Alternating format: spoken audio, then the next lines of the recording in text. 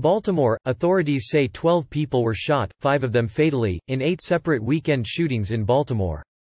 The first of Saturday's shootings was reported at about 2.30 am and involved three female victims, all found with apparent gunshot wounds in a car in a northeastern section of the city. One victim, a 28-year-old woman, died shortly after arriving at a hospital. A few hours later, police responding to a shooting in southeast Baltimore found a 46-year-old man with a gunshot wound to the leg. Then, a second shooting victim, a 40-year-old man, walked into a hospital seeking treatment for a gunshot wound to his leg. Shortly after 2.30 p.m. Saturday, police found a man fatally shot in southeast Baltimore. That was followed less than half an hour later by a shooting in central Baltimore that left a 37-year-old man wounded.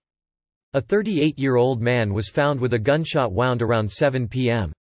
Saturday in northeast Baltimore. A shooting in southwest Baltimore about an hour later left one man wounded and another dead. More gunfire a few minutes later in northeast Baltimore left a 37-year-old man fatally wounded. Saturday's violence ended shortly before 11 p.m., when officers found a 24-year-old man fatally wounded in northwest Baltimore. I wished I was on that plane, Iranian general apologizes, missiles pound Iraq base. What we know now. Senseless violence, five shot at Colorado apartment complex, manhunt for gunman underway.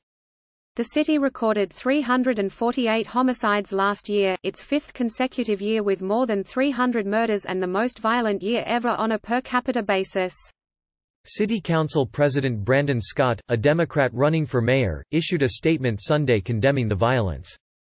A day that should have been met with pride and community was once again flooded with violence and loss, Scott wrote, an apparent reference to an NFL divisional playoff game hosted by the Baltimore Ravens on Saturday night. This violence is heartbreaking and must stop now, added Scott, who said he plans to question Baltimore's police commissioner and other agency heads about what they were doing in the affected communities before and after the shootings. Pelosi warns McConnell, Senate Republicans they will pay a price if they engage in cover-up. Why them? What did they do? Canada mourns victims of Iranian plane crash, seeks answers.